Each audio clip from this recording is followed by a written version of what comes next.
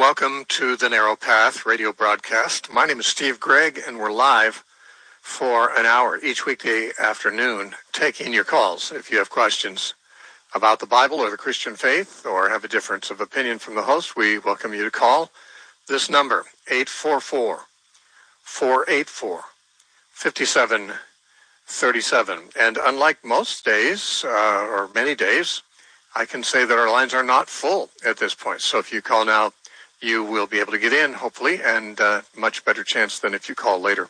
The number again is 844 484 5737. I just have to announce a couple things coming up next Saturday, which only occur once a month. They are in Southern California. Uh, one is a Saturday morning men's Bible study, 8 o'clock in Temecula. And uh, the other one is a an evening um, gathering in Buena Park, where each each month we try to take a different book of the Bible, and I give a uh, an introduction and overview of each of the book. And this uh, this month we come up to the book of Titus. So uh, that's happening this Saturday night, and the men's Bible study in the morning. If you are in Southern California or will be, and want to join us, you simply need to go to thenarrowpath.com and look under announcements, you'll you'll find the time and place of these events. Or, of course, if you're already familiar with the time and place of these events, uh, you can just show up. That's again this coming Saturday, something we do uh, the third Saturday of each month. All right, we're going to go to the phones and we're going to talk to Carrie from Texas. Carrie, welcome to the Narrow Path. Thanks for calling. Steve, I've got a couple questions today. Okay. First of all, uh, John the Baptist, his diet is said to consisted of locusts and wild honey. But wasn't locusts a forbidden food? No, it actually was not. The, in the Leviticus chapter, uh, what is it, 17, it talks about that.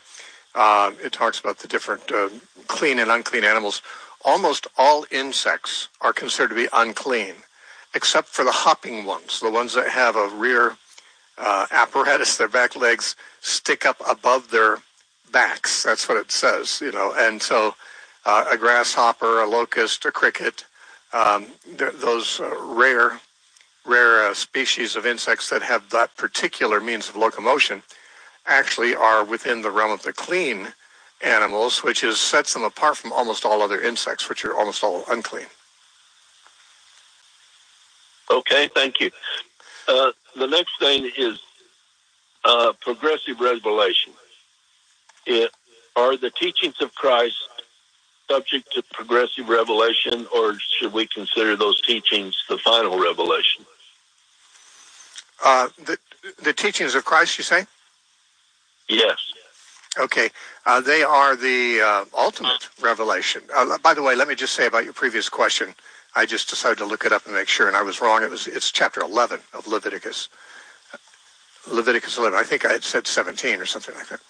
Okay, so um, yeah, as far as progressive revelation goes, what it says in Hebrews chapter 1, verse 1, is that God, at sundry times, in times past, spoke to our fathers by the prophets, has in these last days spoken to us by his Son.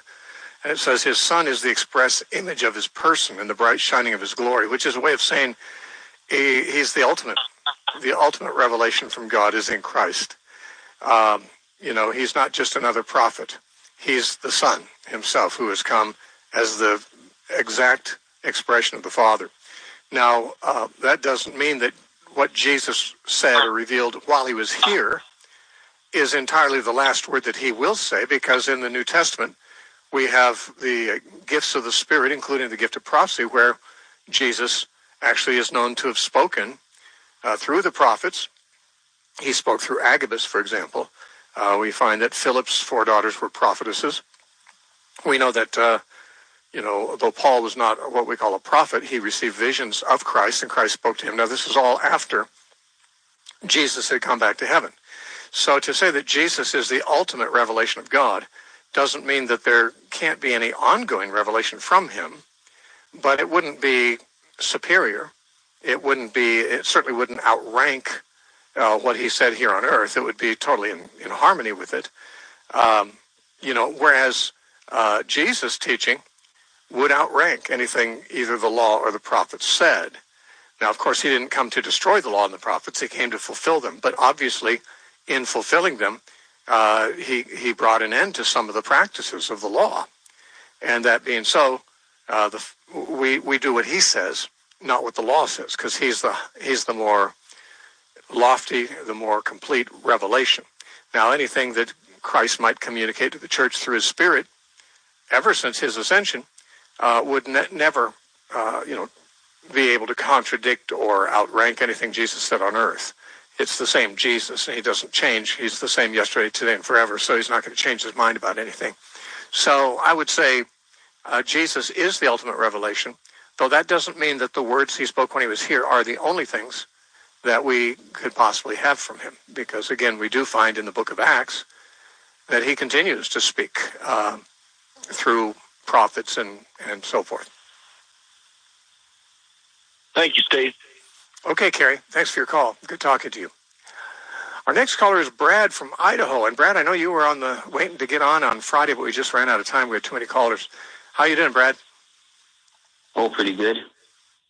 Um, haven't talked to you in a long time. I know it's because uh, I, not because I didn't want to. It's just I've been uh, busy doing other things. But but I have been listening to you.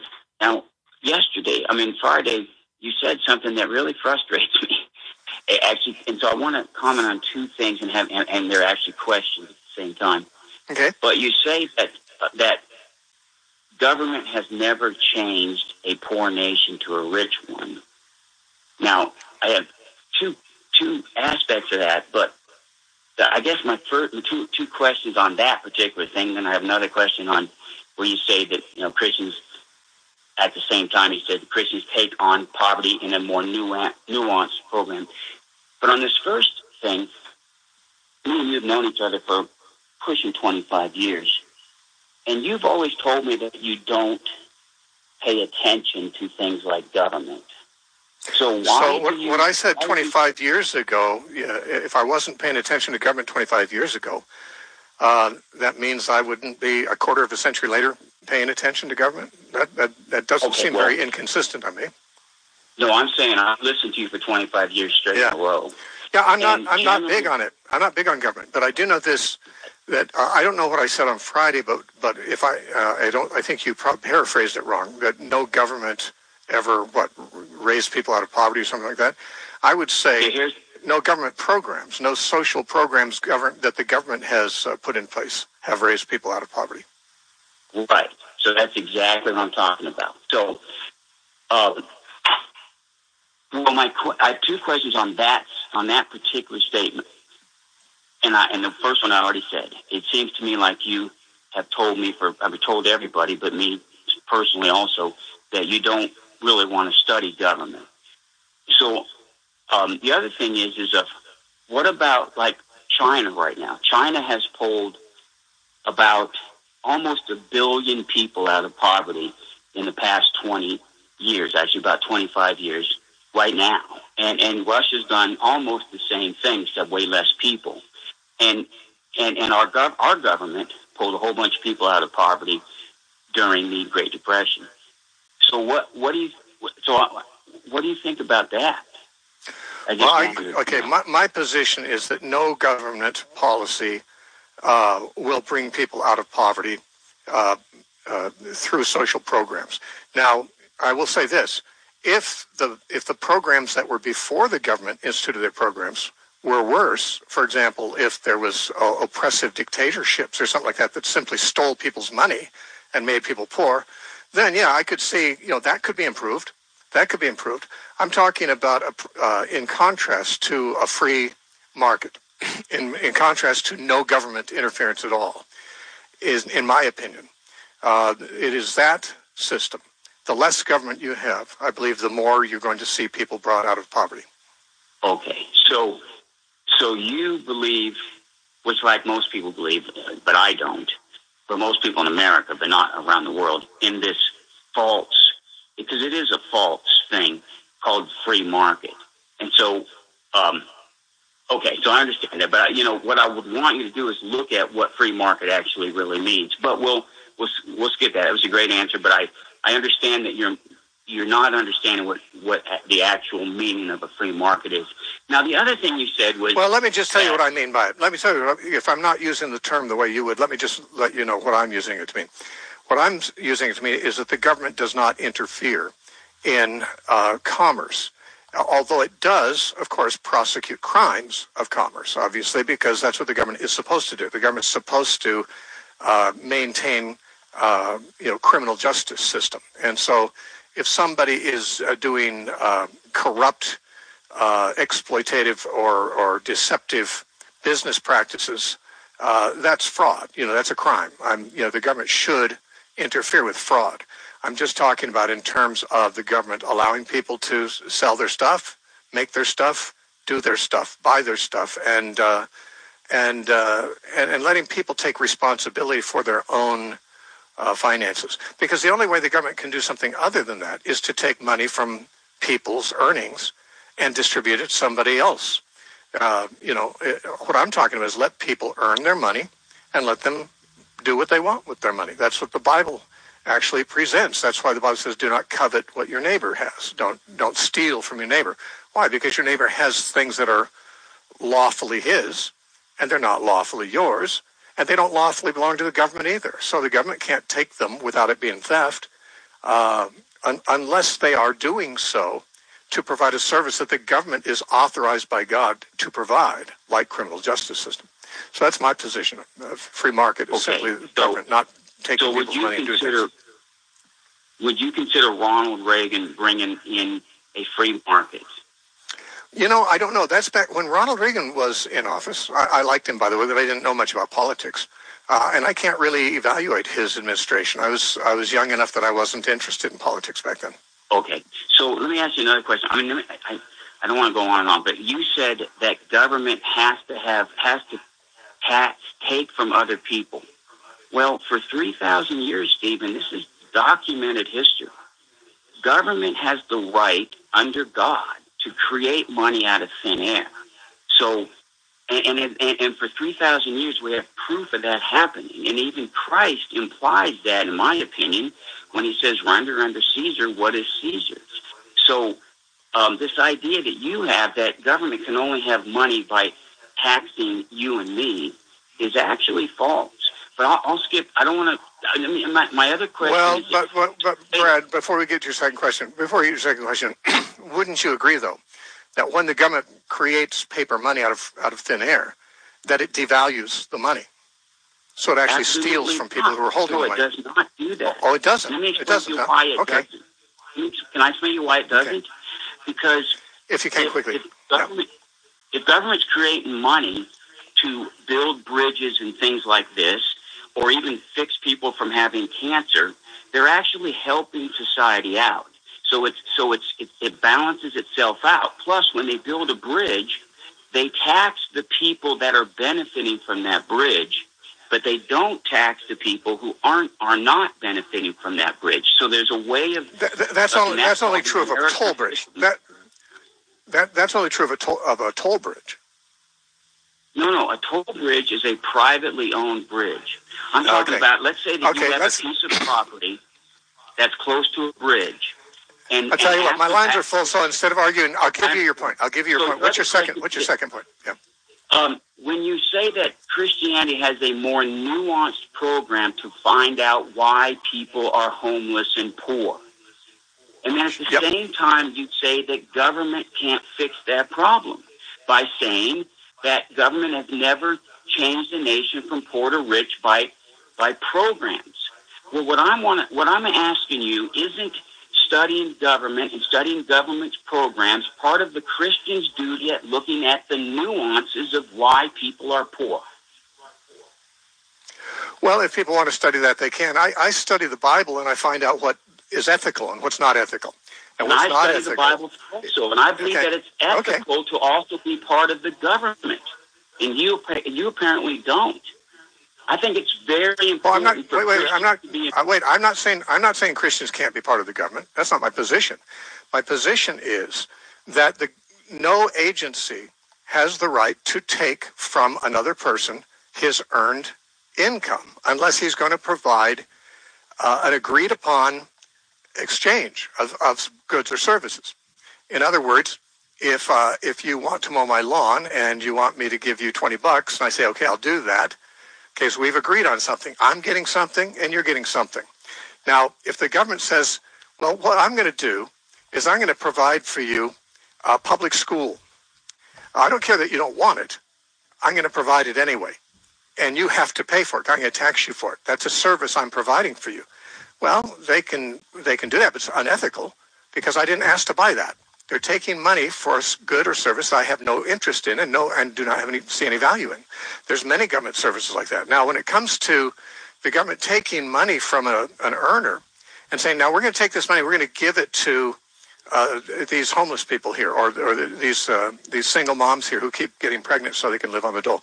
Uh, we're going to do that with it.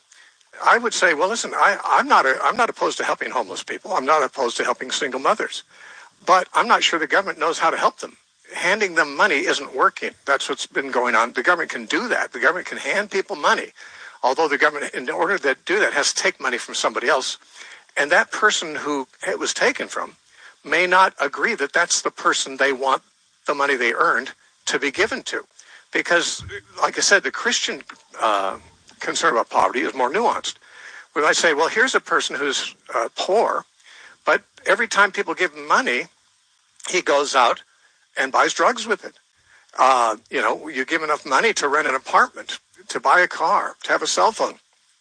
But, uh, you know, he doesn't take care of the car. He crashes the car. He, he spends the money on drugs, and he's out begging for more money again.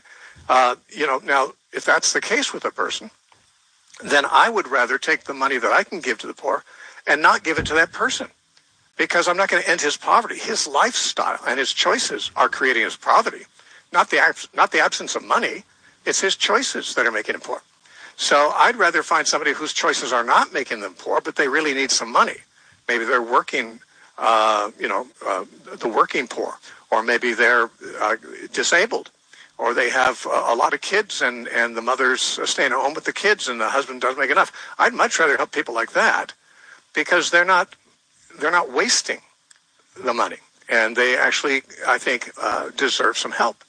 So the point is that when the government takes your money and gives it to who they think is a good charity, if you're a Christian, you're not going to, hopefully, you're not going to agree that using your tax money to give sex changes to military people and even now to uh, illegal immigrants uh, to, to use your money for spending tens of thousands of dollars to give sex changes to these people, you might think, you know, I'd rather take that money and give it to someone who I think is more deserving. And uh, that's why I believe that the government cannot morally take your money and give it to other well, people. They don't know who not, you want to give it to. But I'm not talking about that. I'm talking about the average person who is hardworking. So in America, we have a real big problem with hardworking people like myself with a bunch of kids who are flat broke.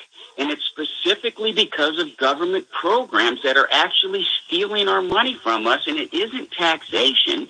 It okay. Well, listen, we've gone tw- we've gone 20 minutes together, Brad, and we haven't really come to an agreement. But you've you've had a chance to share your thoughts, and uh, and you're always welcome to do that. But it sounds to me like you're making my point. But in any case, because I'm against those government programs that are taking your money. But anyway, uh, I appreciate you calling. You've had uh, two questions. We've talked 10 minutes each on them, and we've got our lines full. So I hope you'll allow me to move on. Well, I'm not right. saying government programs take your money. I'm saying they steal money they allow. Okay, other, uh, you, you apparently didn't hear what I said. Okay, but we'll talk again. I'm sure. I'm sure we'll talk again. Uh, but when I say it's time to end the call, that doesn't mean start a new conversation. I told you my lines are full. Okay, let's talk to um, Jim from Staten Island, New York. Jim, welcome to the Narrow Path. Thanks for calling. Hi, Steve. Thanks for taking my call. Sure. Um, I would like to speak, uh, give a few verses concerning faith, which is key to salvation in Second Thessalonians 3 2, and that we may be delivered from unreasonable and wicked men, for all men have not faith. Hebrews eleven six, without faith it is impossible to please him, for he that cometh to God must believe that he is. Ephesians 3:12 in whom we have boldness and access with confidence by the faith of him. Him is a personal possessive pronoun. And it's referring to the previous verse. It's him is Christ Jesus our Lord. So the point that I'm trying to make, and also two more verses. Philippians 1.29, For unto you it is given not only to believe on him, but also to suffer for his sake. So to believe, it's given to a person. In Acts 16, when the Philippian jailer, when he thought his life was on the line because he the prisoners escaped, he was going to kill himself. Now, uh, Paul said, "Don't kill, do yourself any harm. We're all here." Then he springs into the into the prison and says, "What must I do to be saved?" That's the effect of salvation. He didn't say, "What must I do to be regenerated?" He didn't say, "What must I do to be born again?" He said, "What must I do to be saved?" That is to be kept, transported, made whole. He believed he needed salvation first. He, the first thing somebody does when they're regenerated is cry out to God, like the thief on the cross, like the in Luke 18, you know, Lord, be merciful to me, a sinner. That's the effect.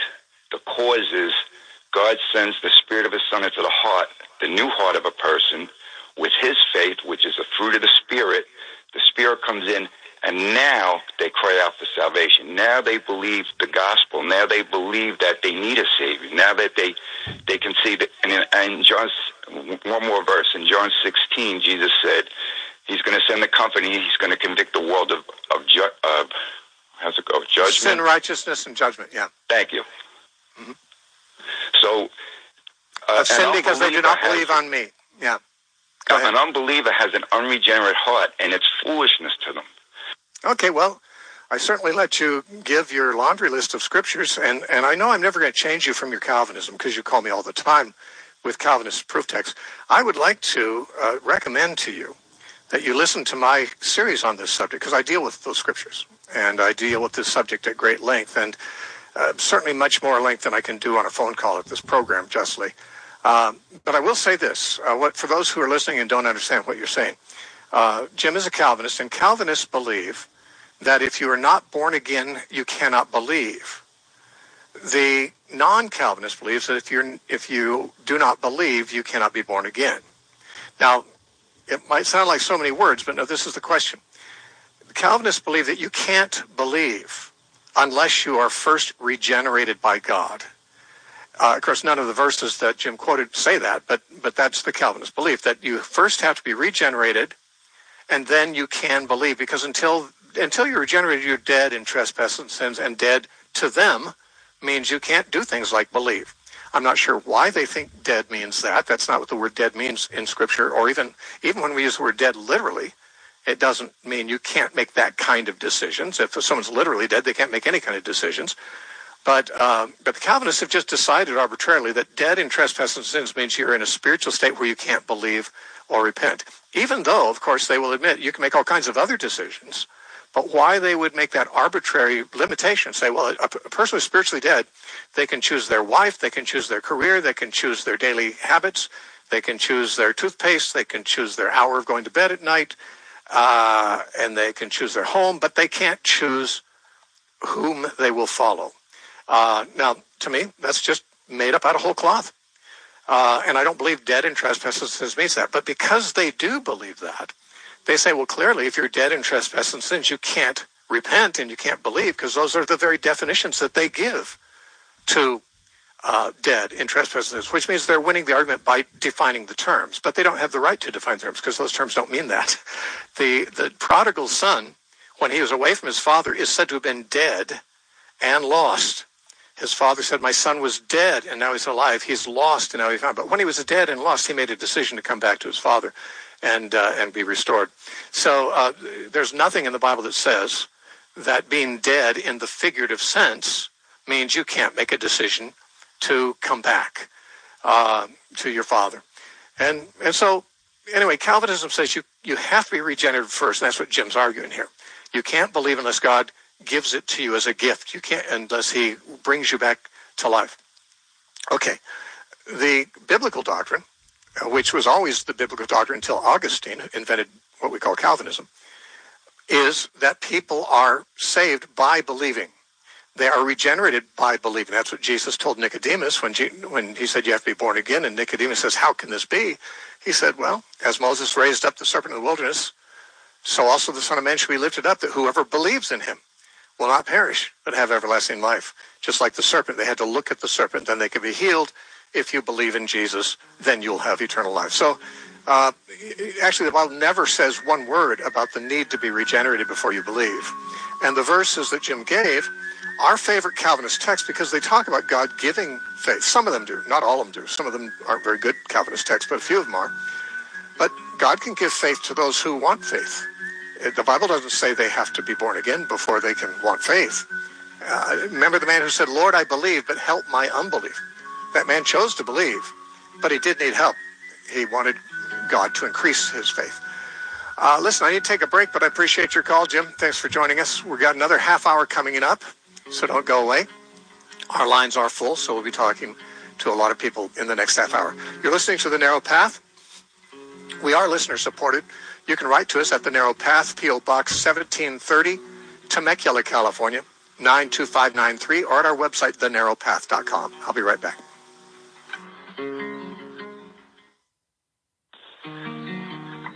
Steve Gregg has written a number of highly favorably reviewed books, which you can find at your online booksellers, including Amazon and Barnes & Noble. His books are Revelation, Four Views, Hell, Three Christian Views, and the two-volume work on the kingdom of God called Empire of the Risen Son. Find them by searching the name Steve Gregg at Amazon or other booksellers.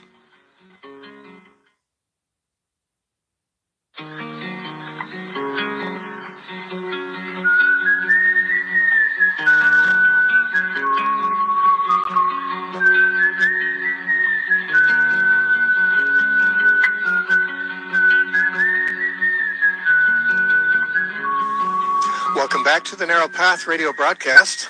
My name is Steve Gregg, and uh, we're live for another half hour taking your calls. It looks like our lines are full, uh, but if you want to try a little later in the half hour to get through with your question about the Bible or the Christian faith, or your disagreement with the host, we always welcome those. The number to call is 844 484 5737. And our next caller is Slavic from South Carolina. Welcome to the Narrow Path. Thanks for calling. Hi, Steve. Hi. Uh, I got a question. Hi. I got a question about Genesis uh. Um, it's in the account of Abraham about to bring his son Isaac, uh, you know, as a sacrifice, and uh, when he stretched out his hand and took the knife to slay his son, um, it says, "But the angel of the Lord called to him from heaven and said, Abraham, Abraham." So he said, uh, "Here I am," and he said, "Do not lay your." hand on, on the lad or do anything to him. For now I know that you fear God, since you have not withheld your son, your only son, from me. Um, just, um, I guess, just a question. I guess this is referring to, uh, you know, God's knowledge, His omniscience, and, and foreknowledge. Is it is it right. is it uh, a necessity for a Christian to believe that God is omniscient, or um, and also does this verse show us that God may not have a foreknowledge of every every uh, meticulous uh, detail, uh, maybe due to God giving us free will, that He would supposedly have this uh, quote unquote limitation, or would this be considered a heretical belief? Uh, what are your thoughts on on this, or, or does this yeah. verse not say that at all? Yeah, yeah. This verse this verse is one of the favorites of uh, that I've heard from people who believe in openness theology. Now, you ask, is that a heresy? I don't think it's a heresy uh, some people would call it that only because it's different than their theology, but the Bible doesn't say anywhere that that belief is heresy. Um, the idea is uh, it's a different view of time than most Christians hold. Most Christians hold that God knows the future for one of two reasons. Calvinists believe that God knows the future because he's ordained everything that's going to happen. So he doesn't learn anything from us doing things. Like he he he wouldn't learn anything about Abraham by Abraham offering his son because whatever Abraham did, God ordained it would happen before Abraham was born, and God knew it was going to happen. That's the Calvinist view of God's foreknowledge. But uh, Arminian view of the foreknowledge of God is that God knows all things, though he doesn't ordain all things, that many things are left to free will. And even though we are the ones fully making the decision about it, God knows before we do it what we will do. And um, those who take this view, uh, or people who often take the view of C.S. Lewis and others before him, who believe that God lives outside of time, that we live within a, uh, a realm called time, where one thing happens after another. There's past and there's present and future, but they say God lives outside of that whole realm of time. He created time and space, and uh, and therefore he's outside of time and space. He's uh, transcendent to it. And they say in his timeless state, he you know, past, present, and future are all simultaneous, and therefore what we call our future is really just uh, he he doesn't have future and past. He just it's all one eternal now. That's what Arminianism usually teaches that God is outside of time. Now the Bible doesn't say that either. It doesn't say that God ordains all things like the Calvinist says, and it doesn't say that God is outside of time. These are just different ways of people trying to explain how it is that God could know the future. And then, of course, the openness theology is the view that uh, he doesn't really know all the future. But they say that's not because God is not omniscient. Omniscient means that God knows all things. The Bible says that God knows all things.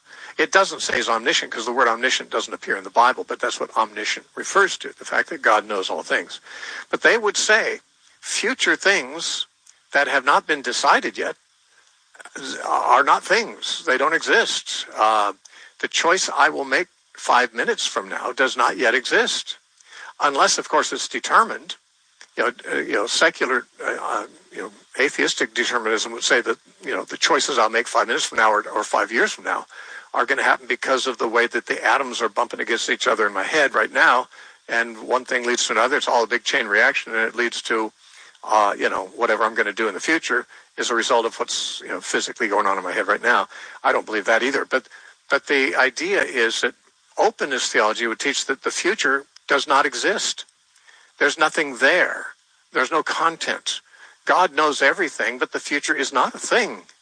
Uh, it's empty until it happens. And therefore, they would say God is not outside time, and God does not ordain all that happens, and therefore God cannot really know everything that that uh, I'm going to do until I do it. Now, uh, they would have some caveats that they would say, well, God certainly knows what He's going to do. So a lot of the future things he, of course, he knows certainly are going to happen because he's going to do them. And that's why the prophets could speak as they did about things God was going to do, and he did them. They knew because God knows what he's going to do. Uh, they would say also he knows, of course, the kinds of things that that the laws of nature produce. Like he knows what position all the stars will be in a million years from now in the sky because they're following the laws of nature. And frankly, a supercomputer could make the same determination.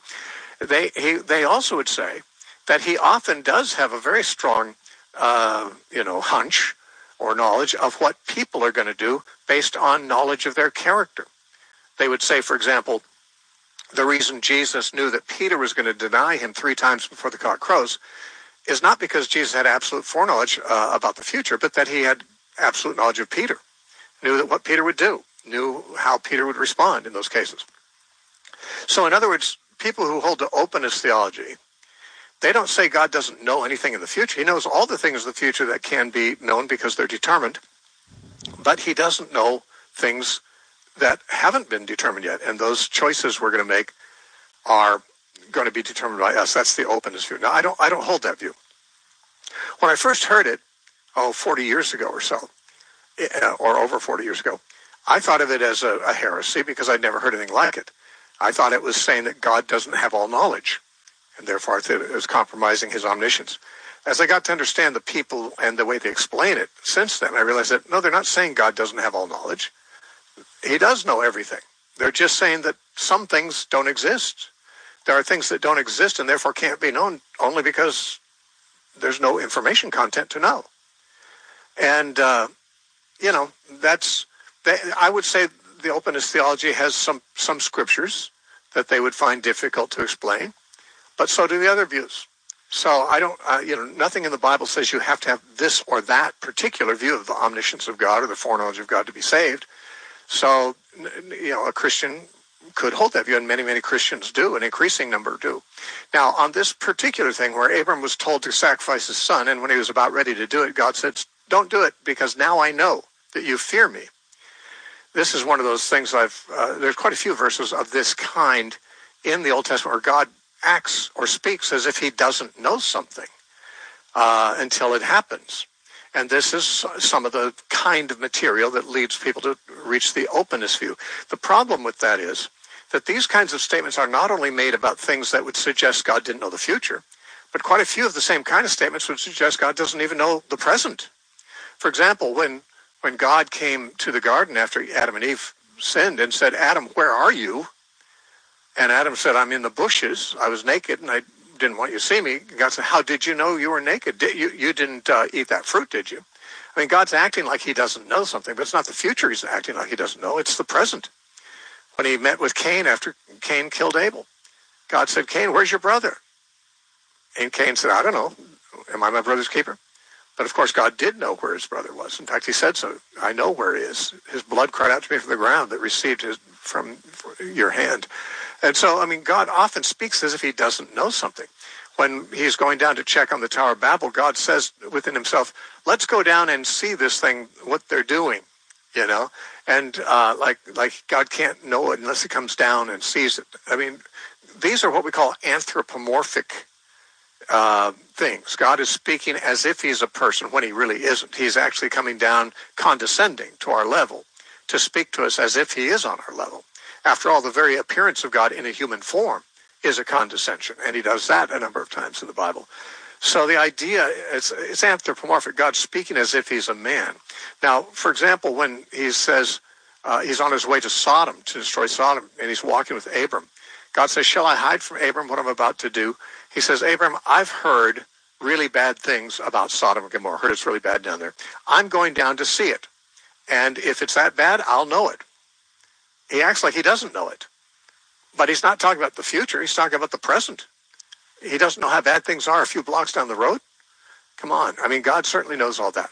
So when God says, now I know that you fear me, actually, even that is not saying I didn't know the future. He's saying I didn't know what was in your heart. I didn't know the present that God, that Abraham feared God was a reality before he offered Isaac, and it's that's the reason he did. And God says, "Now I know that you fear me." Well, didn't God know that Abraham feared him before that, and years earlier still? Well, this is God talking as if He's one of us. I, like I said, it's God condescending to speak as a human when He's talking to a human, and uh, you find a lot of that in the Bible. It's not suggesting that God really is limited to uh, the things that people know, and he doesn't know any more than they do. But when he comes and he appears in a human form and talks to people, he often talks to them as if he's just another guy. And uh, that is what I think this particular verse is doing. But um, like I said, there are people who would say this and other verses of that type sometimes would give the impression that God didn't know the future until it happened. And uh, while that's not my view, I can understand that people could take it that way, and I don't see any reason to call that heretical, since there's no bait, there's no innate uh, teaching of the Bible that says that you have to be, in order to be a Christian, you have to have a particular view of the uh, foreknowledge of God. There's actually quite a few views of the foreknowledge of God out there. Not, like I said, openness is just one of them. So that'd be that. I mean, okay. uh, you could take it that way. Lots of people I know do, but but I don't take it that way myself because I do believe that God knows the future.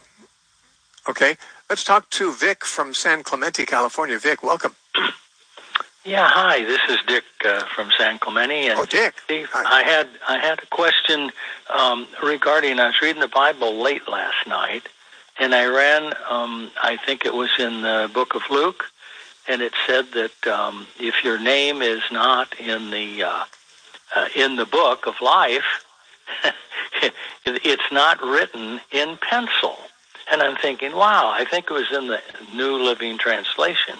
And I, my name, like I've felt, is in the Lamb's Book of Life, which means I'm sure the Book of Life. Well, first of all, I, there's there's nothing in the Bible that says that your name in the Book of Life is not written in pencil, and I'm not saying that it is written in pencil.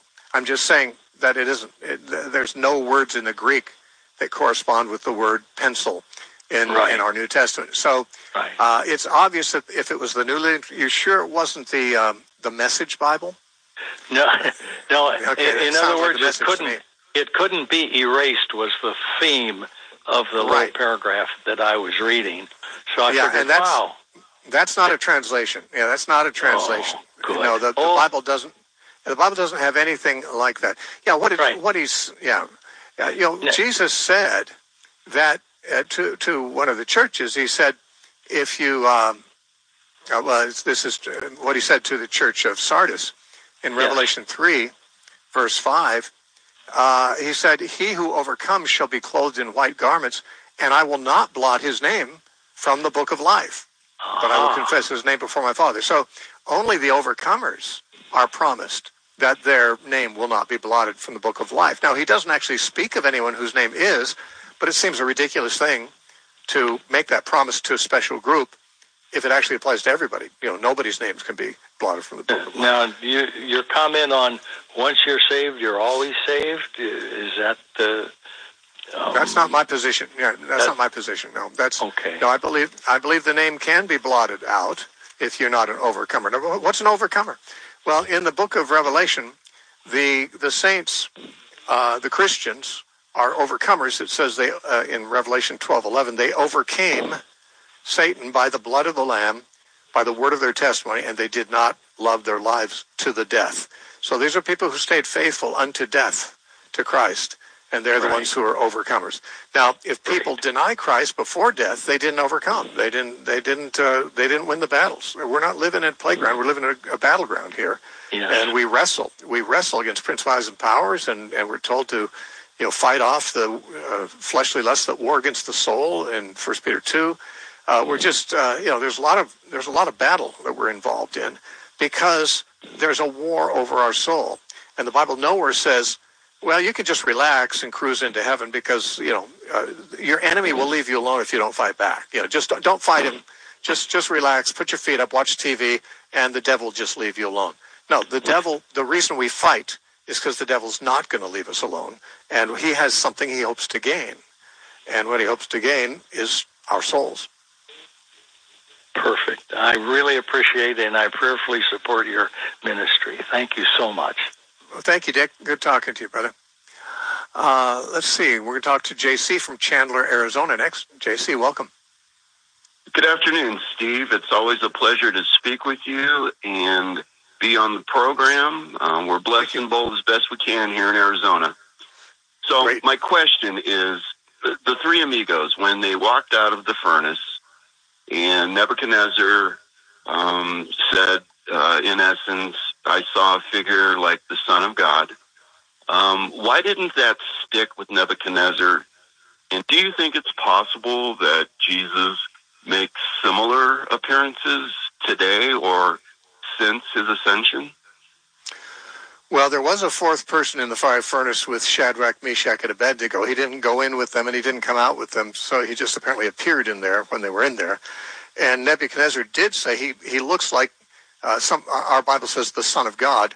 Uh, the Hebrew could be rendered a son of the gods because Nebuchadnezzar was a polytheist and was more likely to say something like that. But, but in any case, um, a, a son of God or a son of the gods, he's simply saying he looks like he's superhuman. He looks like he's not just a person. He looks like he's got you know divine, uh, you know, uh, identity or character or, features or something. Now this could be an angel. Uh, most Christians I know, myself included, usually refer to this as an instance of what we call a theophany or a Christophany, where where Jesus himself actually appeared in the fire furnace with them. The Bible doesn't say it is a theophany. And again, Nebuchadnezzar might have said the same things if he'd seen an impressive angel. You know, the angels that stood outside the tomb of Jesus were so impressive that the guards fell down as dead men in front of them. Angels can be pretty intimidating. So, I mean, it may be an angel, uh, or it may be Jesus. It could be a theophany. But uh, we can't really, you know, we can't really say with certainty that this is a case of Jesus. However, you asked, would Jesus ever appear like this in modern times with people who maybe who are martyrs or suffering or whatever. I believe Jesus often appears to people who are dying faithful. I've heard many stories of people, uh, including my own my own grandfather, actually thought he saw Jesus in the room before he died of cancer. Um, and there are, uh, you know, I think Billy Graham said his his mother or his grandmother just the moment before she died, she sat up in her bed and said, "There's Jesus," and then she was gone. And I've heard lots of stories like that. Heard lots of stories like that. So I think I think Jesus has often appeared, uh, you know, um, with his people uh, when they're suffering or dying, and uh, you know, I, even if he doesn't appear physically, I believe he's very near in a in a sensed reality to his people when they're being faithful unto death. Uh, but uh, yeah, I, I, wouldn't I wouldn't rule out that people might actually see him on occasion. Well, I appreciate your time, Steve, and God bless you. Uh, it's always a pleasure, sir. All right, God bless you, man. Yeah. There's of course cases uh, we hear from the Arab nations, uh, especially North African nations, I think, where uh, Arab tribes, Muslim tribes, actually uh, sometimes a whole village will see Jesus in dreams and so forth, which is maybe a little different than you know him appearing at the time of death or time of suffering. But uh, still, uh, that Jesus can appear to people is not to, to, be ruled out biblically at all. Nothing in the Bible says he would not. Jeanette from Houston, Texas, welcome. Hi, thank you for taking the call. Sure. Um, Are you speaking on your speakerphone? Are you using a speakerphone? Um, no, it's a headset. You're not able to hear me? Eh, well, I can hear you. It's just a real echoey. But go ahead. I think I can understand. Go ahead. Okay. Um, my question is in regards to practical expression of faith. Um, and I believe it's Mark 4, when Jesus was in the boat and there was a storm. And when they came to him all panicking, talking about, you know, Lord, don't you care that we perish? And he was kind of like, yeah, where's your faith? Mm-hmm. Um, so my question since for that is like, I did last night, well, actually this morning, I had an incident where I was terrified about something and I was trying to have faith. And it's like, okay, but I'm scared, you know, so how do I have faith? I do believe God can do this, but right now this thing is in my face and I got to deal with it. So practically, how were they in the boat supposed to show faith? And even in my instance, how am I supposed to not have that fear and just have this faith? Well, I think you need to, I think we all need to uh, cultivate the kind of relationship with God where we, we fully trust Him in every situation. Uh, in other words, Jesus was with them in the boat. Uh, he was asleep in the boat, and the wind and the waves were about ready to sink the boat. That at least the disciples thought so, and they were terrified. And they said, Lord, uh, don't you care that we're perishing? And of course, he rebuked the wind and the waves, and the, storm stopped and he, then he rebuked them for their little faith. I think he was assuming that they should figure uh, him being who he is, that uh, he would have them in a, uh, he'd have circumstances under control. Uh, he had, in fact, said to them, let's go across the lake. So he was right. intending to get there. There's no way a storm could stop him if he's intending to get there. Uh, you know, so I mean, the the point is that as long as we're obeying Jesus, we don't have to be afraid. Now, on the other hand, I guess they might not have known for sure that this wasn't the way that they were going, that God and Jesus wanted them to die. You know, I mean, they're going to die some way. We know that God wants us to die one way or another because we're going to. Um, you know, I, the thing is, when you're afraid, I guess when you're afraid, say, what's the worst thing that can happen in this situation I'm afraid of? If the worst thing that can happen is you're going to die, well, then that's not a bad thing. I mean, it's it's not pleasant to those who survive you and miss you and so forth, but they're going to lose you one way or another. We're all going to lose everybody. Everyone's going to die. But um, the truth is, I'd rather die when God thinks it's the right time for me to than just randomly. Uh, if I felt like this is the moment right now that God wants me to die, I'd say, well, I'm glad to have that knowledge of that, and I'm ready to go. You know, I, I'm ready to go all the time. Uh, if I was told by a doctor I'm going to die within two weeks, I'd think, well, that's excellent to know. Yeah, fantastic. I've always I've been looking forward to it for decades. You know, I want to see Jesus, and I really would. Mm-hmm. I mean, because I have no doubt. I have no doubt in my mind that if I die, I'm going to see Jesus, and it's actually kind of what I'm. One of the things I'm living for, and uh, I know that I can't die until God decides it's my time. so that's because I trust Him. I trust that He's in charge. Remember, Jesus said, just seek first the kingdom of God and his righteousness and everything else will be taken care of by God. God, will, everything will be added to you you need. So you really, you know, having a, a faith relationship with God is uh, just putting everything in His hands, saying, "I'm, I have only one responsibility to be concerned about, and that is, am I doing what God wants me to be doing? If I am, all the problems associated with that, the dangers and the challenges and so forth, they're all His problem. That's His problem, not mine. If He wants me to die, well, God knows I'm going to die one way or another. If this is the way He wants me to go, then who am I to complain? You know, I mean, I realize that viscerally we react fearfully when when it seems like we're in danger. That's a natural thing. Animals do that too. It's not a sin. Uh, you know, you have a survival instinct. Therefore, if you're driving down the, uh, you know, in a blizzard on the Ohio Turnpike and and uh, you hit black ice and you're spinning around on the freeway, uh, and you can't see the road because it's all covered with snow and everything. Uh, you know, when your car stops and slams up against the embankment on the side, you can probably tell I'm speaking from experience here. Uh, your heart's beating in your chest really fast. Now, I can say this: that's a visceral reaction. You know, your body is reacting to the sense, oh, there's danger here. This could be deadly. But once you realize that, like like I've been in airplanes where there's so much turbulence. I thought you could look outside and see the wings flapping in the turbulence. I, I you know, I don't know if this is going to survive. There's uh, once uh, there's lightning flashing on all, all sides of the plane about every two seconds. I think, well, you know, we could be hit by lightning. Uh, you know, but you know, at first it's a little scary. Then I think, oh well, what's the worst that can happen? Worst that can happen is we crash and I go to be with Jesus. I mean, it's like our visceral reactions are natural. We're, we're, we're actually given those, like animals are, as, as a means of surviving. That when I see, uh, uh, you know, a rabid dog stumbling down the street toward me, I'm, I, I'm fearful enough to get into my house or into my car or get away from it. That's how species survive by having that instinct. But we also have our rational powers, to, and, and we're supposed to, with those put our trust in God and say, okay, I'm in danger. I can do nothing. I, I can do nothing about it in this case. So the only person who can really do anything about it is God. And he may or may not deliver me from this. If he does, then I got nothing to fear. If he doesn't, I've got nothing to fear. Uh, I mean, you got to talk yourself out of it. I knew I had a friend who was had terrible uh, claustrophobia, and uh, mm. you know when she would go into an airplane, she'd just feel like she was going to, uh, you know, you know, claw her way out just because she was locked in this plane. And I told her, you know, what's the worst that can happen? I mean, just if you're trusting God, the worst thing that can happen is you can die, right? And is that all that bad? And she began to think that way.